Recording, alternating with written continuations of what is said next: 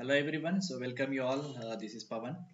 So in this video, uh, we are going to learn about uh, integration testing. So this is a, one of the level of uh, software testing we discussed about uh, earlier unit testing, integration testing, system testing and UAT testing. So this uh, video will more, uh, more focus on uh, integration testing. So what is integration testing and we're going to see why do integration testing required and uh, how we can write integration test cases and what are the different approaches uh, we have uh, to perform integration testing and what is the testing procedure and uh, how to write an integration test plan. So these are the topics which we are going to see in this video. Now let us start with uh, what is integration testing? So integration testing is uh, basically individual testing individual software modules or integrated logical and tested as a group. So for example, uh, developer uh, develop the software in the form of modules. So for example, the multiple developers are working on multiple parcel, multiple submodules. Right, so once they have implemented these submodules, they will integrate it as a single module. This is a, called as a main module. Right, so we need to test this module or we can also test the uh, we need to, we can also test uh, we can also perform the integration testing between these three uh, modules. So for example this is a module 1 this is a module 2 and this is module 3 so the input we can provide something here and the outcome of this particular module again become input for the next module. Again the outcome of this module is becomes input for this module. So in integration testing the main focusing on the communication how these modules are communicating each other how they are integrated each other. So that's the main aspect of integration testing. So integration testing focuses on checking data communication amongst these modules. And uh, this comes under the white box testing technique because uh, we need also know code sometimes right? So this is comes under the white box testing technique. And normally this testing is conducted by the developers if it is a code level. And uh, there are two approaches we have like top down approach bottom approach we will follow to perform integration testing. And uh, let us discuss a few more things about here.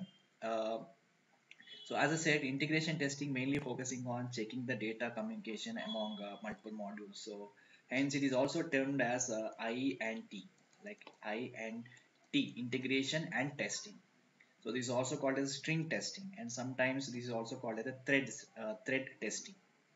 Okay. So now let us see why do we need uh, integration testing, why it is required integration testing. So uh, although each software module is a unit tested, so because before uh, starting integration testing, we do unit testing. So even though if you do the unit testing in each and every module, defects still exist uh, for different reasons. So for example, uh, a module in general uh, is designed by an individual software developer whose understanding and programming logic may differ from other programmers. So integration testing becomes necessary to verify the software modules work in Unity. So at the time of module development, uh, there are wide chances of change in requirements so by the clients. So these new requirements may not be unit tested and hence system integration testing becomes necessary okay and sometimes like uh, interfaces of the software modules with the database could be uh, not correct or sometimes like external hardware interfaces or if any or also could be not correct so these are the various uh, reasons uh, that's the reason uh, we uh, perform integration testing on the software. So next we'll see integration test case. So normally integration test case seems like this. Integration test case uh, it differ from other test cases uh, in the sense it focus mainly on the interfaces and the flow of data information between the modules. Uh, here uh, the priority okay so we always have the priority right? So here the priority is to be given for the integrating links uh, rather than the unit functions which are already tested. So here uh, normally the sample integration test cases for the uh, that particular scenario here I have given a small scenario. Okay let me just go through this okay I have mentioned small uh, two test cases here for small uh, login or mail scenario. So let us uh, see how we can write an integration test case here. So in this scenario application let's say application is having uh, three different modules. Let us say I have a login module and I have a mailbox. This is another module. And I have another mo uh, module called as a delete mails. Okay delete mail. So this is another module. Let us assume I have three different modules say so each each of them are integrated logically. So until unless we do login we cannot verify mailbox. And until unless we have a mailbox we cannot delete the email. So these are independent uh, modules so here we don't concentrate much on login page testing as it's already been done as part of unit testing. So but check how it is linked to the mail uh, mailbox page. So that's the main focus here. So if I see the test cases here right uh, check the interface link between the login and mail module. Okay this is the main objective of the test case. And enter login credential and click the login button. And what should be expect, expected now it should be directed to the mailbox. So that's our expectation here. So here we are mainly focusing on integration of these two modules.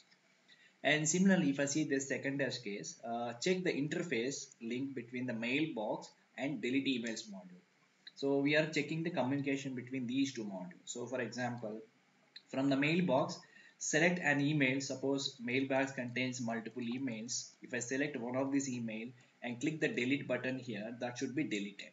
So what is our expected result here? So selected email should appear in the should not uh, should appear in the deleted or trash folder. That means it should not be part of an inbox. Okay so here we are not mainly focusing on testing this functionality we are focusing on how these are communicating internally so that is the main uh, uh, intention of integration testing. This is a, one of the simple example for uh, unit test, uh, integration test case. Now let's see uh, what are the different approaches or methodologies or strategies of integration testing. So here uh, we use a new concept called the stubs and drivers. Okay, so bottom up integration and top down integration are the actual methodologies. And in these methodologies we sometimes use sub stubs and drivers. So let us see what are what are those stubs and drivers. So here uh, stub is nothing but uh, is a, a module uh, under test. Okay so for example if I say stub here what is stub here? Stub is called by the module under test. So for example there is a module. This is your module this module will call this particular stub to perform certain action okay and there is a driver so what is a driver driver calls the module to be tested. So the driver calls this module. So what is the relation between here? Module calls the stub and driver calls the module. Okay, this is the integration. But here stub and drivers are temporary programs. Okay, so let me just give you one example. So here there is a uh, scenario like this. So for example, here also there is a module. Let's say this is a first module, this is a second module, and this is a third module. Now here I have completed this mo first module and third module but I haven't completed this uh, module number 2 still it is in uh, development so now I need to test with 1 and 3 modules so but if I want to test this 1 and 3 we need module number 2 but uh, this module is not yet ready so what we can do is we can just write a simple uh, temporary program which will assist uh, as a temporary program so through which we can test these two modules so stub in the sense module will call the stub. So that means this module will call this uh, uh, stub. Here we can call this as a stub. And here the same thing will call this module. So here in the same context we call we call this as a driver. So the terminology is different, the functionality is almost same. Okay. So module will call the stub and driver will invoke the module. So that's the difference between stub and driver. So in the bottom up and top down, in the both approaches, we use stub and drivers as a temporary program. Okay, let us see how it will be. Uh, in the bottom up approach, let's say these are multiple modules, module 1, 2, 3, 4, 5, 6 and all. In the, this is a bottom up approach. First we will test the sub modules and then we'll test the uh, main modules. This is about the bottom up approach. In this approach, uh, there are some advantages and there are some disadvantages. So it is uh, the main advantage is fault localization is easier and no time is wasted uh, waiting for all the modules to be developed. So we no need to wait for all the modules to complete. As soon as our module is ready, we can start doing a bottom-up integration testing.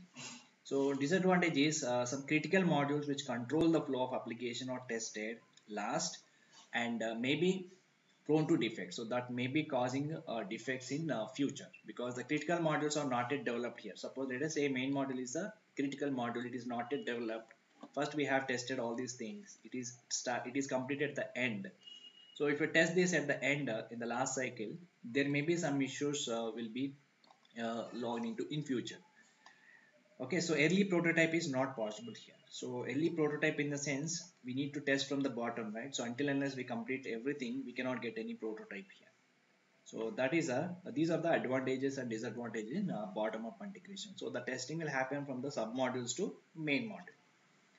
And similar way we have uh, another uh, methodology like top down approach. So if you see this top down approach so the testing will start from the main module to sub module okay top to bottom. So first we'll test main modules and then we'll test sub module so here the advantage is fault localization is easier just like a bottom up approach but here possibly to obtain any early prototype. Here we have chance to get an early prototype. And critical modules are tested on priority and major design flaws could be found and fixed first. That there comes under the advantages. And when you come to the disadvantages it's need many stubs. It needs many stubs because submodules are not yet implemented the main modules are ready. If you want to test them we require the stubs. So modules at lower level are tested inadequately. So that means we'll start from the top like uh, module 1 module 2 module 3 and all right? So at the end once we reach this end modules at the lowest level are this one 4 5 6 are tested inadequately. We don't have any adequate methodology here. We can test them. So these are all few advantages and uh, disadvantages in a top down approach now let us see uh, what is the integration testing approach. Integration testing procedure. So the integration test uh, procedure irrespective of the test strategies. Like uh, here we have a few points like uh, we need to prepare uh, the integration test plans and uh, so let me just show you something here. So testing procedure. So the integration test procedure irrespective of the test strategies we already discussed in the previous slide right so we need to prepare uh, here, prepare the integration test plan. That's the first point. We need to prepare integration test plan as part of testing procedure. And then we need to design the test scenarios, test cases and test script. And here test scripts in the sense of programs and executing the test cases followed by the rep uh, reporting the defects and tracking and retesting the defects and again we need to follow this step 3 this one uh, this one executing the test cases and also this one tracking retesting of the decay will continue the till all the defects have been fixed. Okay these two uh, steps will be repeated multiple times. This is a procedure like we can say one two three four five. First we need to have test plan integration test plan then we need to have test scenarios test cases and scripts and then we will execute those test cases and followed by reporting the defects and once the defects are fixed we will again retesting them okay? And now let us see how the integration te test plan will be. So normally integration test plan includes uh, these are the properties like uh, methods and approach like top down approach or bottom approach or what is approach we are going to follow. That we need to part of uh, test plan. And uh, scopes and out of scopes items uh, of integration testing should be part of the test plan. And roles and responsibilities and prerequisites for integration testing and testing environment and risk and mitigation plans. Suppose if there is any risk, so what is the alternative for that? So that will be described as part of mitigation plans. So these are all about uh, integration test plan. So normally integration testing mainly focusing on communicating with the modules as I said before and integration testing is normally done by the developers and they will use top down approach and bottom up approach by following this approach, they will make use of stubs and driver. Stubs and drivers. They are temporary programs which will assist if any submodule is not yet implemented. So instead of that module, we can go and use stubs and drivers. This is a white box testing techniques. Okay, so that's all for this video. Oh, thanks uh, all uh, for watching this video. So please subscribe my uh, channel to update to get updates on more videos. So thank you all.